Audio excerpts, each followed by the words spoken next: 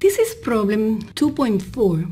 We have three forces and we want to find the resultant force.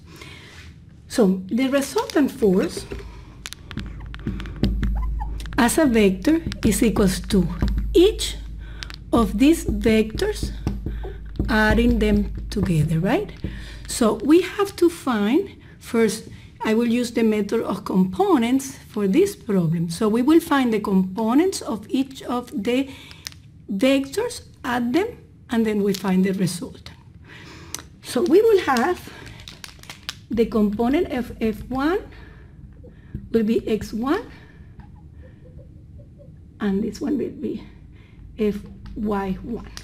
So let's write F1 as a vector will be 850. The x component will be the cosine of this angle. This angle is the same as this angle. As you see, the cosine of this angle, let's call it theta, is equals to 4 over 5. And it's a positive, so it will be 4 over 5, which is the cosine of theta. And the sine, the y component, as you see, is in the negative value of y, right, in the negative axis of y, and it will be the sine. The sine of this vector is the same, this is the same as this one, so it will be 3 over 5. So it will be negative 850, 3 over 5. This is in i direction. Don't forget that direction. And this is in the y direction. So we have two components. This is f1x and this is fy1, right? This is the y component this is in newtons. F2 will also be described in the fy2 and fx2. Let's find the x2. As you see, is in the negative side of x-axis, so we already know that it's a negative value. And how much is this value over here? Will be the magnitude of the force times sine of 45 because it's the opposite. You remember that sine is always opposite over hypotenuse, so it's sine of 45, which is square root of 2 over 2 in the i direction. And y is in the positive axis, so will be plus 70, 750 square root of 2 over 2, which is the cosine of 45 in G. This Newton. And F3, which is this one right here. So as you see, we have the y component. Let me make it longer here. The y component will be F y3 is in the negative side of the axis and the x component is also in the negative side. So we will have the value is 625 and what is the component? In the x will be this angle over here is 30 so x will be the opposite of this triangle, right? Which means the sine. So sine of, four, of 30 is 1 half in I. And then the adjacent of that triangle gives me the cosine, which is the value for y. So it's, and it's a negative value. This is also a negative value. 625 and that will be the cosine of 30. The cosine of 30 is square root of 3 over 2 in J newtons. So, and this is a vector. Very important that you have very clear the difference between a scalar and a vector. To find the components, we will add, so my resultant will be all the x values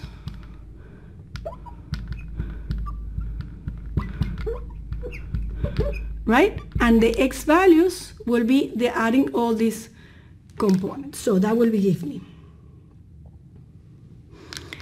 If I multiply by 4 and divide by 5, that gives me 680 and that gives me 530.3 and this is minus 312.5 that's in I. And in Y direction it gives negative 510 530.3 minus 541.3 and that's in the J, J. this is a 3 adding all those values, I have that this is negative 162.8 in I minus 520.9 in J. That's the vector of the resultant force. As you see, is a negative value in X and negative value in Y. So that resultant force will be somewhere, let me draw it in yellow, somewhere around here. Because it's negative in I and negative in J. So it's in the third quadrant. To find the magnitude,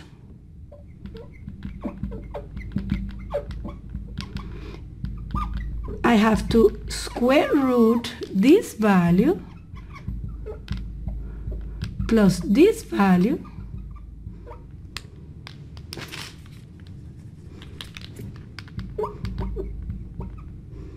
and I have then that the scalar, which is the magnitude, look at this is a vector and this is a scalar.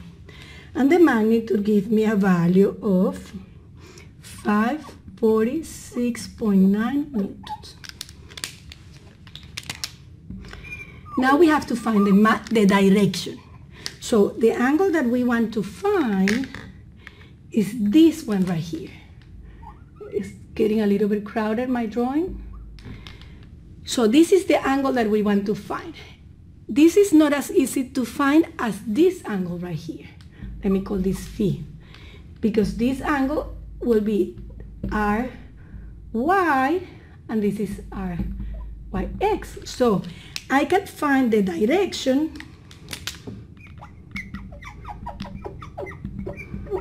I will find this angle first which is the inverse tangent of f r y over f r x which is the inverse tangent of my y is 520.9 over my x, which is 62.8. That gives me a value of 72.6 degrees. But as I said, this is this angle right here, right? This angle right here. And that, we have to give the answer in terms of the positive axis x. So what do we have to do? We have to add 180 in order to get the total angle. So my angle that I want to report is phi plus 180 degrees, which then is equals to